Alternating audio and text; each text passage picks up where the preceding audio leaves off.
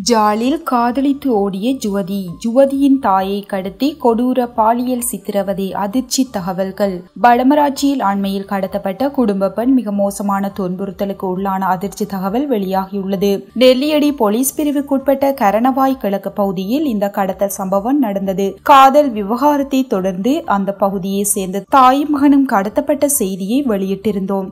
கடந்த இருபத்தி ஐந்தாம் தேதி ஐம்பத்தி ஐந்து வயதான தாயும் பதினான்கு வயதான மகனும் கடத்த கடத்தப்பட்டனர் அன்றைய தினமே வீடொன்றில் வைத்து சிறுவனை நெல்லியடி போலீசார் மீட்டனர். மறுநாள் அதிகாலை ஒன்று முப்பது மணியளவில் நெல்லியடி நகர பகுதியில் தாயாரை கடத்தல்காரர்கள் இடக்கிவிட்டு தப்பி சென்றுள்ளனர். காதல் விவகாரம் ஒன்றை தொடர்ந்தே இந்த கடத்தல் சம்பவம் நடந்துள்ளது. கரணவாய் கிழக்கை சேர்ந்த ஜுவதி ஒருவரும் இளைஞரும் காதலித்து வந்தனர். சமூக வேறுபாடுகள் உள்ளிட்ட காரணங்களினால் இளைஞனின் பெற்றோர் காதலுக்கு சம்மதிக்கவில்லை. இதையடுத்து இளைஞனும் ஜுவதியும் அண்மையில் வீட்டிற்கு தெரியாமல் திருகோணமலைக்கு நோக்கி தப்பி சென்று திருகோணமலை போலீஸ் நிலையத்தில் சரணடைந்தனர். இளைஞன் யுவதியின் பெற்றோர் திருகோணமலை போலீஸ் நிலையத்துக்கு அழைக்கப்பட்டு அந்த ஜோடி சட்டபூர்வமாக இணைத்து வைக்கப்பட்டது.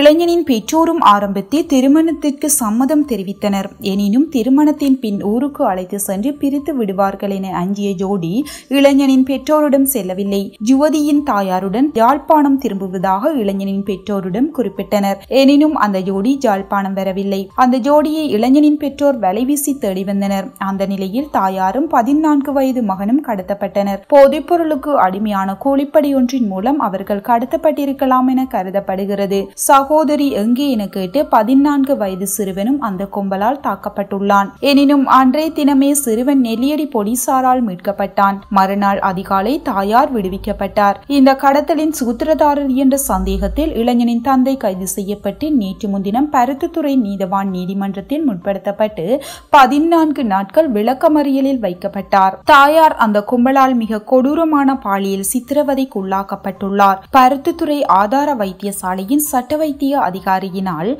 விரிவான பரிசோதனை அறிக்கை வழங்கப்பட்டுள்ளது. இதையடுத்து தாயார் ஜாழ்ப்பாண போதனா வைத்தியசாலையில் நேற்று அனுமதிக்கப்பட்டுள்ளார். இந்த கொடூரத்தை புரிந்த கும்பலில் சுமார் எட்டு பேர் வரையானவர்கள் இருந்திருக்கலாம் என போலீசார் கருதுகின்றனர். தற்போது அவர்கள் தலைமுறவாகி விட்டனர் அந்த கொடூர கும்பல் இதுவரை கைது செய்யப்படாதது குறித்து பாதிக்கப்பட்டவர்கள் தரப்பிலிருந்து விசனம் தெரிவிக்கப்பட்டுள்ளது.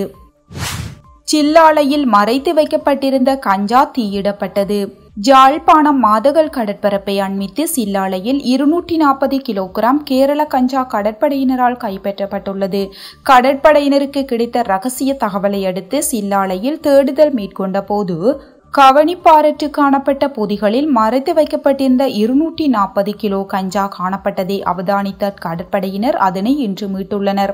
சம்பவம் தொடர்பாக இளவாலை போலீசாருக்கு தகவல் தெரிவிக்கப்பட்டது. தொடர்ந்தும் போலீசார் நீதிமன்றத்துக்கு அறிக்கையிட்டதை அடுத்து நீதிமன்ற உத்தரவின் பேரில் நேற்று மாலை கைப்பற்றப்பட்ட இருநூற்றி நாற்பது கிலோ கேரள கஞ்சாஜாவும் கொரோனா அச்சம் காரணமாக கடற்படையினரால் தீயிட்டு அளிக்கப்பட்டன இவை இந்தியாவிலிருந்து கடத்தி வரப்பட்டிருக்க இருக்கலாம் என சந்தேகிக்கப்படுகின்றதாக போலீசார் தெரிவித்துள்ளமை குறிப்பிடத்தக்கது.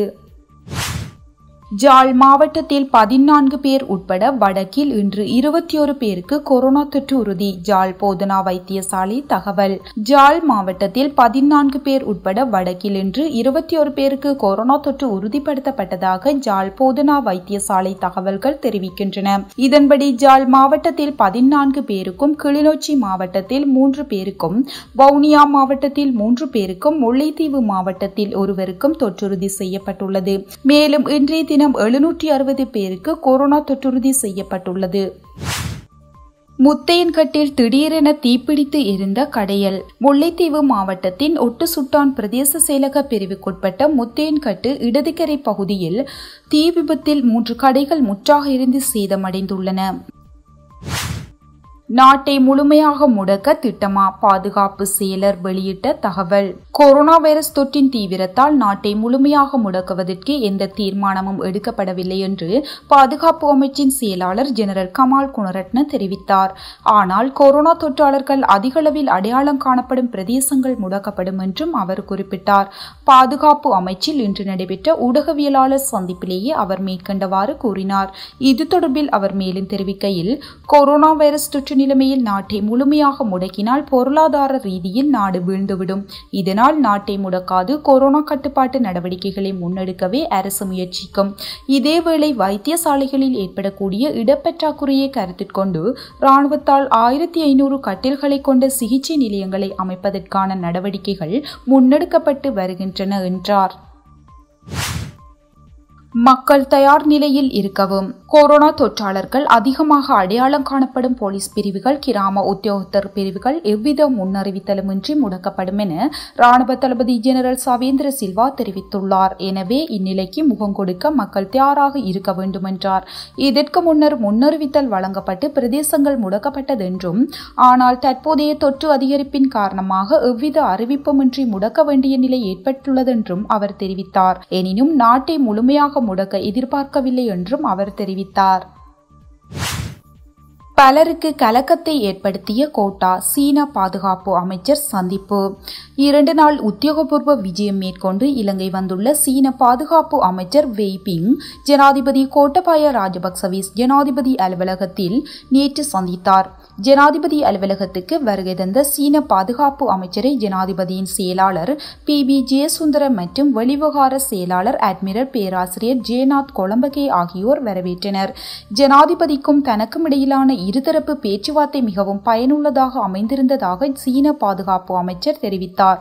அதேபோன்று இரு நாடுகளுக்கும் இடையிலான உறவுகள் இந்த விஜயத்தின் மூலம் பலமடைந்திருப்பதாகவும் அவர் மேலும் தெரிவித்தார். சீன பாதுகாப்பு அமைச்சர் ஜெனரல் வெய்பிங் தனது வருகையை நினைவுகூரும் வகையில் விசேட விருந்தினருக்கான நினைவு புத்தகத்தில் கைச்சாத்திட்டார்.